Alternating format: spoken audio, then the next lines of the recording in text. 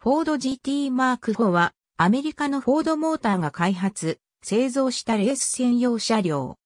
前身の GT マーク2が1966年のルマン24時間レースで総合優勝した後、翌年のルマン連覇だけを前提に開発されたという特殊な経緯を持つ。1966年1月から発行される FIA の新レギュレーションに合致させるため、新型マシンの開発が65年9月よりカークラフトで始められた。新レギュレーションの中の J 項に合致したマシンということで、新型マシンは J カーと呼ばれることになった。J カーは基本的にマーク2の主要部品を流用することが決まっていたため、主に空力面と軽量化に力が注がれた。さらに、65から66年に大幅に実力を伸ばしたシャパラルカーズの影響もあり、オートマチックトランスミッションの採用も開発条項に入っていた。軽量化のため、ジェーカーはシャーシをアルミニウム製とした。これにより 135kg の軽量化が可能とされた。製作は航空機産業のブランズウィックコーポレーションが担当した。もう一つの命題であった空力面は66年の新レギュレーションに合致させるべくウィンドシールドをマーク2よりも幅を狭く、さらに湾曲の強い形状とした。こちらは、シャーシ完成より一足早くクレーモデルにカラーリングを施し、65年末にプレス発表された。そのボディスタイルは特徴的なノーズとボディコーブがフラットな形状だったため、マンタと揶揄された。66年3月に1号車の J-1 が完成。フォード本社のディアボーンのテストコースでシェイクダウンテストが行われた後にシェルビーアメリカンへ送られ、本格的なテストが始まった。J-1 は1ヶ月のテストの後、66年4月に行われたルマンのテストデーに参加した。主に走行データ採取が優先されたテストではあったが、65年にマーク2が出した予選タイムには及ばず、さらに同じテストデーに参加していたマーク2よりもラップタイムが遅かったため、新型車としての面目が立たなかった。その後のテストでも、マーク2より優位性を証明できなかったため、ルマンまでのレースには従来通りマーク2が使われることになり、J カーの開発は一時中断されてしまった。その後、フォードが66年のルマンを制すると、フォードはこの優勝がまぐれでないことを証明するべく、翌67年のルマンに再度挑戦することを発表し、66年8月より J カーの開発を再開した。66年でマーク2は実質3シーズンを超え、性能低下が懸念されていた。ライバルチームが投入してくるであろう67年用のニューマシンに対し、マーク2の改良では間に合わないと考えたフォード首脳陣は J カーの開発を急いだ。J- にアップデートプログラムの一環として、66年から北米大陸各地で行われることになったグループ7によるカナディアン、アメリカンチャレンジカップへ参加する計画を立てた。耐久レースではないキャンアムでは夜間走行用の装備は必要ないため、ヘッドライトの撤去やボディ周りの変更などを施した J-2 を開発。リバーサイドサーキットでテストに入ったが、8月17日にシェルビーアメリカンのケン・マイルズがテスト走行中にクラッシュし、炎上、ケンが死亡するという惨事となった。この事故で、ジェーカーは再び開発中断を余儀なくされ、マーク2を改良し67年シーズンに投入することとなった。ジェーカーは66年11月から開発を再開。最も課題とされた空力面の改善に全力が注がれた。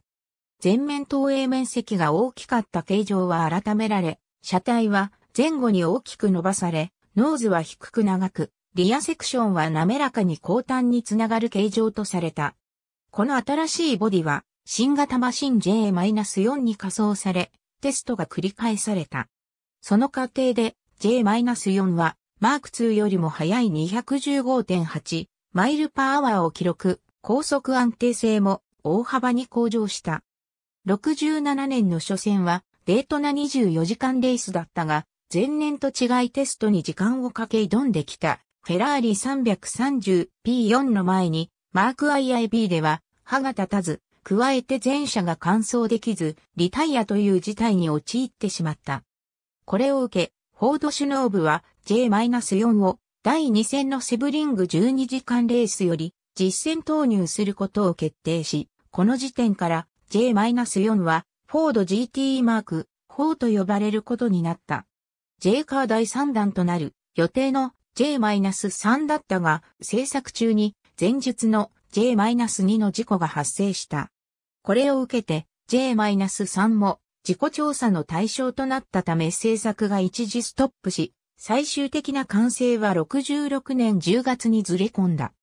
完成後はリバーサイドやデートナでテストを繰り返していたが、後に J-4 と同様のボディに乗せ替えられ、J-3 もフォード GT マーク4となって67年ルマンのテストデーより投入されることになった。J-4 より改装されたマーク4は67年3月末に開催されたセブリング12時間レースで実戦デビュー。直接のライバルであった 330P4 は不参加だったため、ライバルはシャパラル及びこのレースよりデビューしたアルファロメオティーポ33だった。予選で J-4 はポールポジションを獲得。決勝ではシャパラルが前半をリードするもミッションの破損でリタイアしたためマーク4がデビューウィンを飾ることとなった。セブリングの一週間後、当時恒例だったルマンのテストデーが開催された。フォードは J-3 を改装したマーク4とマーク2のそれぞれ1台を導入し、テストに臨んだ。J-3 には計測機器を搭載し、タイムより走行データの収集を優先した。このテストデー以降マーク4はレースに出場することなく、ルマンの決勝に向けてテストを繰り返した。なお、J-4 及び J-3 はテストデーを最後に役目を終えて売却され、ルマンには新たに製造された J-5 から J-8 の4台が投入されることになった。新造された4台は J カーベースのマーク4よりシャーシ合成を強化されるなど改良が加えられていた。67年のルマン24時間レースにはシェルビーアメリカンから2台のマーク4と1台のマーク IIB、ホルマンムーディからも2台のマーク4と1台のマーク IIB、フォードフランスからマーク IIB が1台の合計7台がエントリーした。対するライバルのフェラーリは 330P4 が4台、412P が3台エントリーし、準備不足で3台しか揃わなかった前年とは、比べ物にならない体制で挑んできた。予選前の練習走行中、マーク4のフロントウィンドにクラックが入るトラブルが続出。ガラス自体の強度不良が判明したためすぐさま、アメリカから対策部品が輸送され、事なきを得た。予選では J-6 に乗るブルース・マクラーレンとシャパラルのフィルヒルがポールポジション争いを繰り広げ、マクラーレンがポールポジションを獲得した。2位のシャパラルを除いて3から6位をフォード勢が占め、1位のマーク4はフェラーリ勢よりラップタイムで4秒ほど上回っていた。フォード勢のエントリー以上シェルビーアメリカンからのエントリー以上ホルマンムーディ以上、フォードフランス本線では、ラビットと命じられていたマーク IIB の1031が午後4時のスタートから約1時間ほど、ハイペースで周回を重ねたが、その後トラブルで交代、以後、J-5 が首位をキープし、周回を重ねた。日付が変わり午前3時過ぎ、アンドレッティの J-7 がマシントラブルでコースアウト後に土手で跳ね返りコースを塞いだ。